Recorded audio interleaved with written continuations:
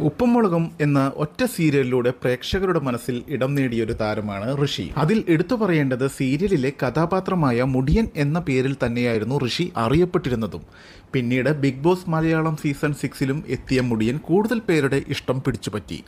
റിയലായി നിന്ന് മികച്ച പിന്തുണ നേടാൻ താരത്തിന് സാധിച്ചു എന്നതാണ് താരത്തിന്റെ പ്ലസ് പോയിന്റും. കൂടാതെ ഋഷിയെക്കുറിച്ച് ഓർക്കുമ്പോൾ പ്രേക്ഷകരുടെ മനസ്സിലേക്ക് ആദ്യം എത്തുക ആ ഹെയർ സ്റ്റൈൽ കൂടിയാണ്.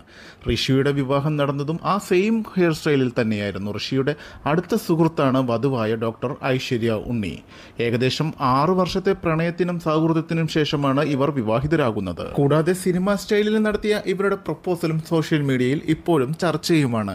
നേരത്തെ ഋഷി ഉപ്പുമുളകം സീരിയലിന്റെ സെറ്റിൽ വിവാഹം വിളിക്കാൻ പോയത് ഏറെ വൈകാരികമായിരുന്നു. അറിയാതെ താരത്തിന്റെ കണ്ണ് നിറഞ്ഞുപോയ കാഴ്ചകൾ നമ്മൾ കണ്ടതുമാണ്. ആഴ്ചകൾക്ക് മുമ്പാണ് ഋഷി തന്റെ പ്രണയം പരസ്യമാക്കിയത്. ആദ്യ പ്രണയിനിയുടെ മുഖം കാണിക്കാതെയായിരുന്നു ഋഷി വീഡിയോ പങ്കുവച്ചതും. ആരാണ് ആ പെൺകുട്ടി എന്നായിരുന്നു എല്ലാവരും ചോദിച്ചത്. പിന്നീട് സിനിമ സ്റ്റൈലിലാണ് പ്രപ്പോസ് നടത്തി ഋഷി രംഗത്ത് വന്നത്. കഴിഞ്ഞ ദിവസം ഇവരുടെ ഹൽദി വീഡിയോയും പുറത്തു വന്നിരുന്നു. ഇന്ന് രാവിലെ തൃക്കരിയൂരിലുള്ള ശിവക്ഷേത്രത്തിൽ വച്ചാണ് താരത്തിന്റെ വിവാഹം നടന്നത്. അടുത്ത ബന്ധുക്കളും സുഹൃത്തുക്കളും മാത്രമാണ് ചടങ്ങിൽ പങ്കെടുത്തതും. ഇരു വീട്ടുകാരും ചേർന്നാണ് വിവാഹം തീരുമാനിച്ചത്. ഋഷി കണ്ടുപിടിച്ച കുട്ടി ഒട്ടും തെറ്റിയിട്ടില്ലെന്നും പ്രണയിക്കുന്നുവെങ്കിൽ ഐശ്വര്യ പോലൊരു പെൺകുട്ടിയെ തന്നെ പ്രണയിക്കണമെന്നും കഴിഞ്ഞ ദിവസം നടിയും ഉപ്പുമുളകും സീരിയലിൽ ഋഷിയുടെ അമ്മവേഷം ചെയ്ത നിഷാ സാരംഗം പറഞ്ഞിരുന്നു.